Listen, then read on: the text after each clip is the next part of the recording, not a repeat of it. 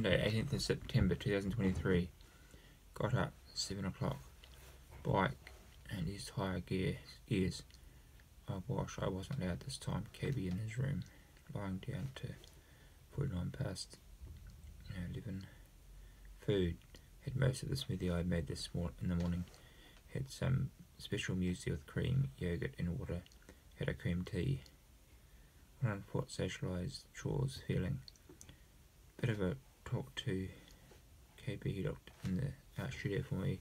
I took scripts out and emptied the cardboard box. I don't feel like much. Don't feel much good.